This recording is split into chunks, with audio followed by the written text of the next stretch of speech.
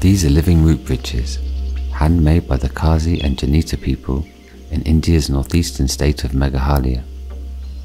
Root bridges are a simple type of suspension bridge, formed by guiding living plant roots of a rubber fig tree, also known as a Ficus elastica, across a stream or a river, and then allowing the roots to grow and strengthen over time until they can hold the weight of a human being.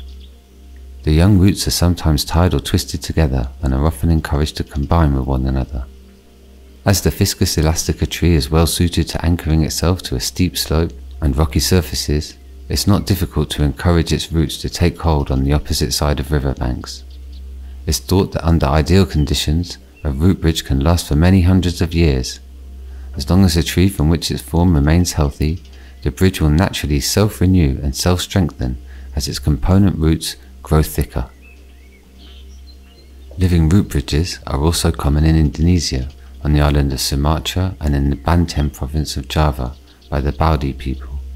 They call them Jembatan Akar, living root bridges, and they are formed from knitting the two roots of banyan trees that grow across and extend over a stream or a river.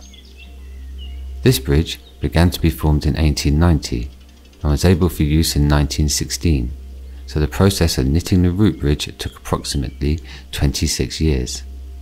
Conditions now are becoming increasingly stronger with the size of the roots of the banyan tree that formed it, and it is used every day by people. Thank you for watching. Please like and subscribe and leave a comment if you enjoyed the video.